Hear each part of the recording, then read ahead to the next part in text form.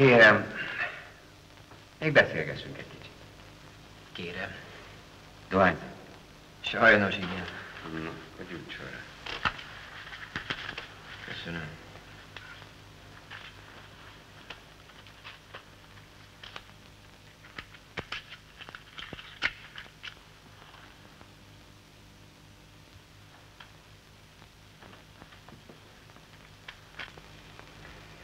Maga ugye családos ember. Két gyermekem van. Egy fiú és egy leány. Nagy betyár mind a kettő. Ha érdekli önt, amatőrkép, én csináltam. Ügyes ember. Egy fiú, egy lány. Igyekeztünk. Hát igen. Ők az élet értelmei. Miattuk bizony sok mindent megcsinál az ember. De az is előfordul, hogy nem miattuk. Igaz? Igen. Néha olyan dolgokat is, amiket megbán. Így van.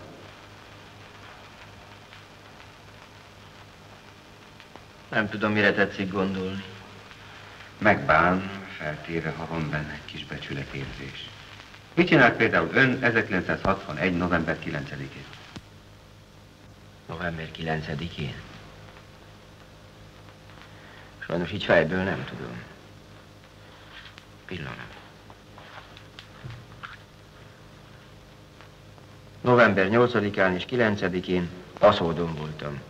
Hivatalos kiküldetésben. És hol volt november 24-én? 23, 24, 25, Albert írsa. Pedig ez esetben téved.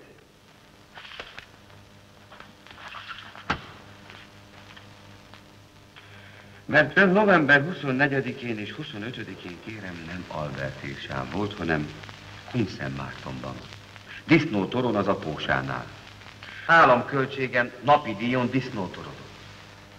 Tessék, ön állította ki ezt az úti számlát.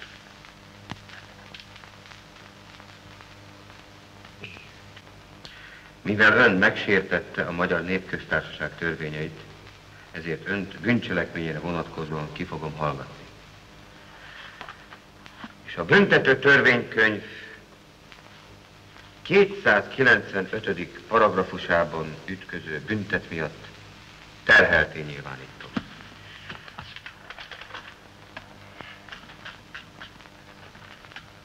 Tegyék lehetővé hibám kijavítását.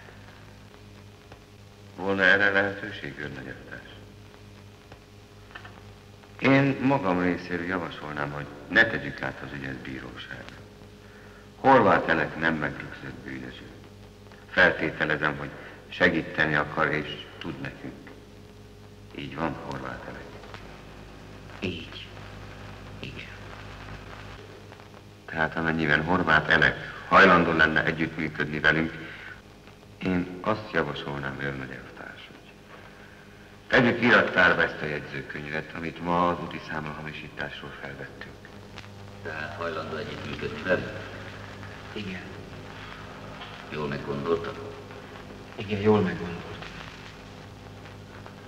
Ha ez becsületes segítő szándék, akkor adjunk lehetőséget Horváth Eleknek százados eltárs. Tessék, és írja azt, amit Jóvá akarom tenni, amit elkövettem, és önként felajánlom szolgálataimat